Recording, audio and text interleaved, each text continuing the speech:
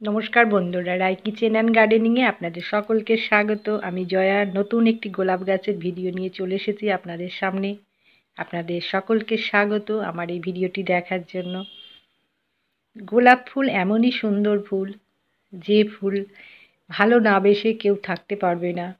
আর এই গাছ যখন এইভাবে সুন্দর হয়ে আপনি একটা গাছ তৈরি করে সেই গাছকে এইভাবে ফুল ফোটাবেন, তখন তো ভীষণই ভালো লাগে। আর সেই ফুল ফোটানোর জন্য আজকে আমি বিশেষ কিছু খাবার রেখেছি, যে খাবারের গুণে আপনাদের গাছেও এইভাবে গাছ ভরা ফুল ফুটবে। আর এই গাছে একটু রোগ পোকা লাগে, তার জন্য আপনারা নিম অয়েলটা সপ্তাহে একদিন স্প্রে করবেন, কিংবা বাড়িতে যে হলুদ থাকে সেই হলুদ জলটাও আপনারা স্প্রে করতে পারেন, খুব কাজ হয়। এই ছোট ছোট কাজগুলো গোলাপ গাছের জন্য আপনারা করবেন এবং যে সাত পাতা যেটা বার হবে নিচ থেকে একটা মোটা ডাল সেটা আগে কেটে দেবেন। সেই গাছে কোনো দিনও ফুল হয় না এবং সেই ডালটা যদি না কাটেন তাহলে কিন্তু গাছের খাবারটা সব ওই ডালটাই খেয়ে নেবে। তার জন্য অবশ্যই আপনারা যে সাত পাতার ডালটা বার হবে সেটা কেটে দেবেন। আর যেগুলো আগাছার ডাল ফুল হয়ে যাওয়ার পর সেগুলোও কেটে দেবেন। তাহলেই আপনাদের গাছের শাখা পোশাকাটা বেশি বার হবে।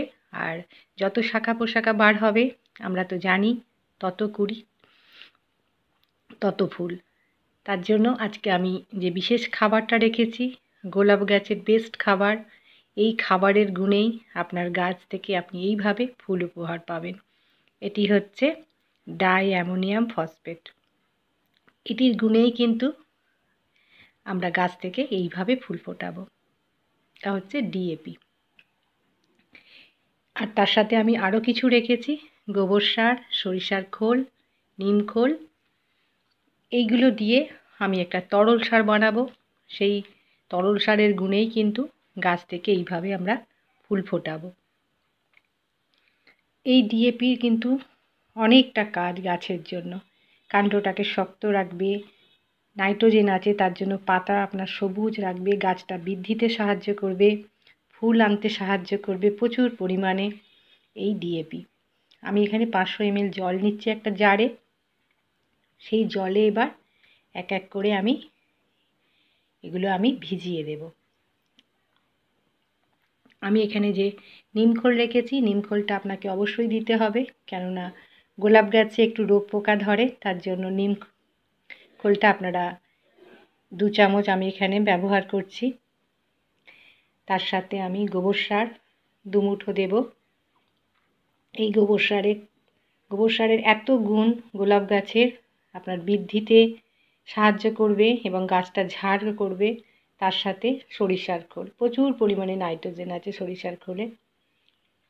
একটা গোলাপ গাছ যত ঝাড় করবেন, দেখতে কিন্তু তত ভালো লাগবে। তার জন্য নাইট্রোজেন সমৃদ্ধ খাবারটা গোলাপ গাছে একটু বেশি দিতে হয়।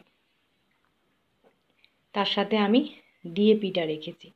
এই ডিএপি আপনার যে কাণ্ডগুলো শক্ত, মজবুত করবে শিকড়ে যে খাবারটা দেব, যে শিকড়টা মজবুত রাখবে, খাবারটা গাছে পৌঁছে দেবে শিকড় দ্বারা।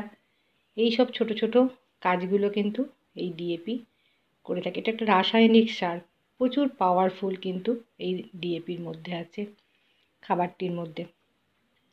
এই সমস্তগুলো দিয়ে আপনারা দু রাত ভিজিয়ে রাখবেন। সবগুলো ভালো করে জলের সাথে মিশে যাবে।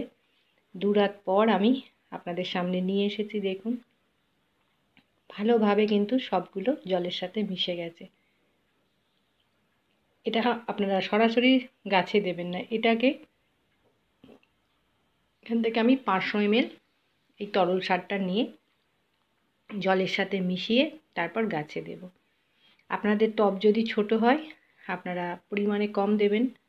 আমি এখানে তিন লিটার জল নিয়েছি, সেই জলে এই দ্রবণটা দিয়ে ভালো করে মিশিয়ে নিচ্ছে। আমরা যখনই তরল সার বানাই, সেটা কিন্তু আপনারা অবশ্যই জলের সাথে মিশিয়ে নেবেন। তাহলে গাছের কোনো ক্ষতি হবে না। কেননা এগুলো একটা পাওয়ারফুল খাবার।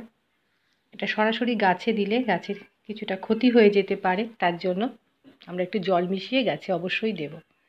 টবের মাটিটা একটু হালকা খোঁড়াই করে নেবেন, সপ্তাহে একদিন করে। আপনারা এইভাবে মাটিটা একটু খোঁড়াই করবেন। তাহলে আমরা যে জলটা দেব সেই জলটা খুব সহজে নিচ দিয়ে পাস হয়ে যাবে। আর জল জল যত নিচ দিয়ে পাস হবে আমরা জানি গাছ আমাদের তত ভালো থাকবে। গাছটার বৃদ্ধি বিকাশ তত হবে। আমি এখানে পাঁচশো এমএল আমি জল এখানে দিয়ে দিচ্ছি, যে তরল সারটা বানিয়েছি। আপনাদের টব যদি ছোট থাকে তাহলে একশো এমএল করে দেবেন, তাহলেই কাজ হয়ে যাবে। আপনাদের গাছ থেকে আপনারা এইভাবে ফুল ফোটাতে পারবেন। আর গাছ ভরে যখন এইভাবে অগণিত ফুল ফুটবে, আর তার সাথে কুড়ি গাছ ভরে থাকবে, দেখতেও ভালো লাগবে। আজকের মতো আমার এই ভিডিওটি শেষ করছি। আর এই ভিডিওটি যদি ভালো লাগে, ভিডিওটিতে অবশ্যই একটা লাইক, সাবস্ক্রাইব আর কমেন্ট করবেন। আজকের মতো নমস্কার।